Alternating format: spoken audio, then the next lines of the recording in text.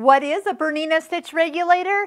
It is going to revolutionize the way you free motion quilt. Bernina has had the Bernina stitch regulator for years and it has helped me become a better quilter. Probably the one reason you bought your Bernina 790 is so you have access to the Bernina stitch regulator. So in this video I want to show you how to put it on the machine, how to use it, and just some of the basic tips. Now, I wasn't always a machine quilter, but I do have to give credit to this tool that is in this box that it has helped me become a better free motion quilter.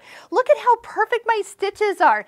Yes, I had to practice uh, the patterns and how to get things to really pop off the fabric and emphasize the blocks that I, I am working on or the quilts that I'm quilting. And truly, I used to only be able to stipple, but now because of the stitch regulator, I can really jump into any project. And I actually have a brand new, fresh project that I'm going to even be demonstrating on. And so I'm going to share with you some of the reasons I love having the Bernina stitch regulator.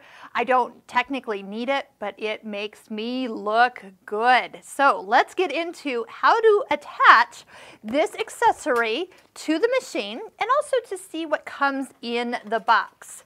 So the Bernina Stitch Regulator has worked since day one, which has actually been around a long time actually. So if this is new to you, this is not new technology. It has been tried to be duplicated by other machines, but really this is the machine that it does it on. There's actually two other feet that come with it. A open toe foot is what I will have on the machine right now. There's a closed toe foot and a clear foot. Now this clear one can be used for some like echo quilting uh, because you can see it kind of has a saucer-like disc with various lines on it. We also use that sometimes too when you're working with really high loft batting. That's a good one to uh, switch over to if you get something really poofy that you're working on. So if you have seen the blocks that go into our Stitching Cosmos, all those quilts I have quilted myself.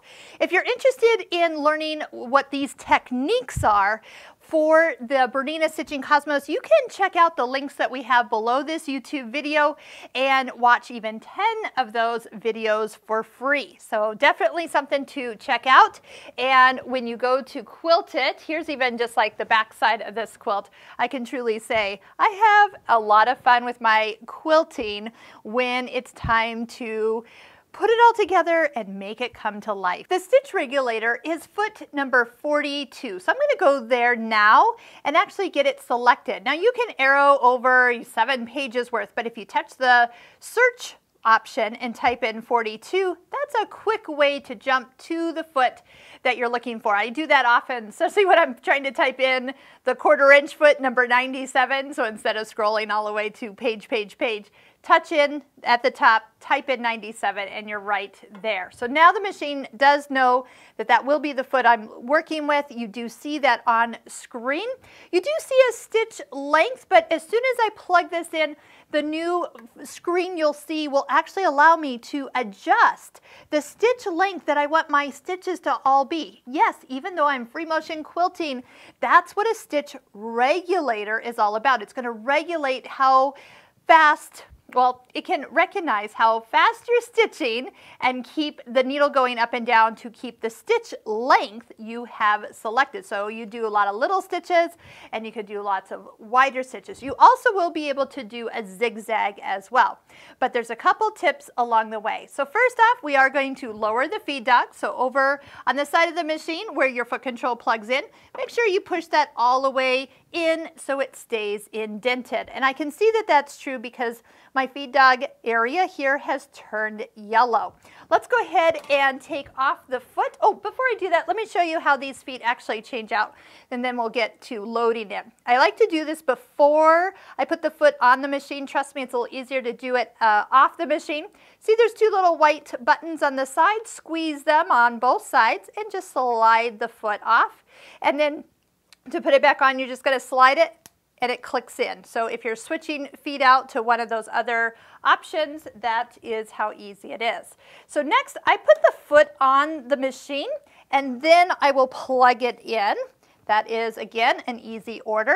And you're going to be coming around the backside. Easiest just to go ahead and stand up and find where it plugs in right back here. You saw the screen switch over as soon as it recognized that that unit has been attached. The default stitch length is two millimeters. And just like anything, you're going to need to kind of practice uh, on some fabric, sandwich a little fabric, batting together, and try it out. Something else I'll be using is some quilting gloves. That's just easier for me when I'm moving the fabric around. But the stitch length will be able to be adjusted for longer stitches or shorter stitches. And then I mentioned a zigzag option. It's almost like thread painting when you're looking at how that's gonna stitch out. But we'll focus on the straight stitch. The other thing I'd like you to do is put on the straight stitch throat plate. Tell the machine you're doing that, then it will make sure you don't accidentally pick a zigzag and break the needle. But a straight stitch throat plate will assist in prettier stitches, especially when you start to go over some thicker areas. Before we get nice and close to the needle to see how to this works, I want to show you one more thing that I'm going to be switching between. There's a mode 1 and a mode 2. And depending on if you'll be using the start stop button on the front of your machine here or your foot control, you'll need to select which mode of the machine running you prefer. So I'm going to show you first on mode 2. That's the one with the start stop button here. I will not be using my foot control at all and everything will be controlled by my fingers above the quilt. Then we'll switch over to mode 1. Now you do kind of notice that when it is selected it's a little darker gray than if it is not. So now I can see I'm selected on mode 2. This is the one I have my students start off with, or if somebody's never used the stitch regulator, this one is the one to start off with. I always like to do a little practice testing where my batting and the back are connected, and I can look for where the tensions are and if I need to adjust them before I start on my actual quilt. So in mode two, the one you're gonna use the start stop button on, you're gonna notice that when you touch it, nothing happens, but you need to touch and hold it until that needle takes a stitch and that red light comes on below the foot. Once you start moving it, that's when the stitches are going to be regulated. So at first, sometimes people say that it's kind of like jerky, and that's not really the fact. It's, it, the fact is, is that it's trying to keep up with the with the movement of your hands. So if you kind of do little jerky pushes, that's why it kind of wants to go faster and slower. So that's just part of getting things going. Now I am going to go ahead, you saw that I actually touched the button here to turn off the red light. Keep in mind that if the red light is on, it is going to stitch. So I'm going to peek on the back side and I do feel like the stitches are a little bit of a straight line here. So I am going to increase the top tension so to kind of help even out the stitches a little bit, kind of pulling them up to the front side.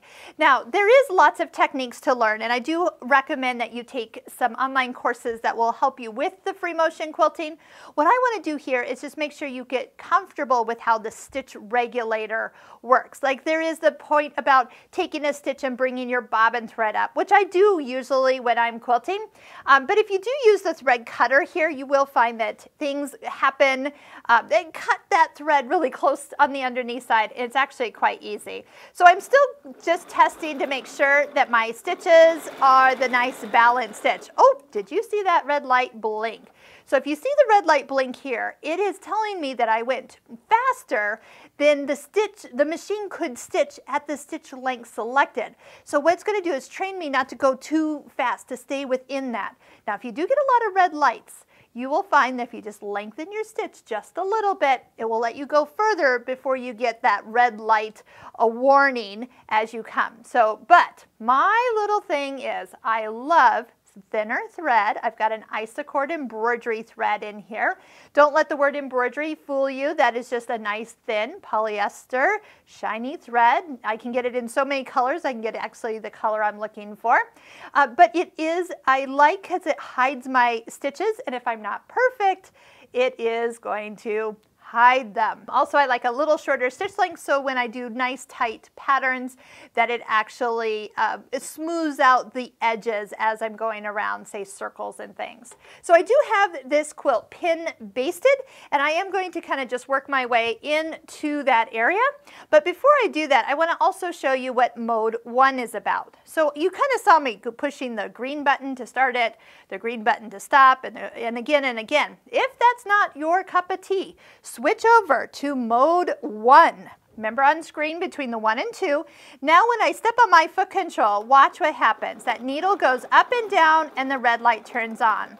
As soon as I take my foot off the foot control, the red light of the stitch regulator goes off, but look, my hands are still on my fabric. So at any given time, I can quickly start and stop and not have it, um, not have to move my hands from the fabric.